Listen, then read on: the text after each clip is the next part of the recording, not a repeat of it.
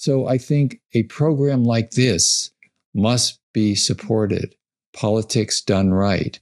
The kind of media outlets that are progressive, that have a single standard of human rights online, they need to be supported. Our voices need to be heard, not suppressed by ourselves. For one thing, we should not engage in self censorship out of fear. We should speak out.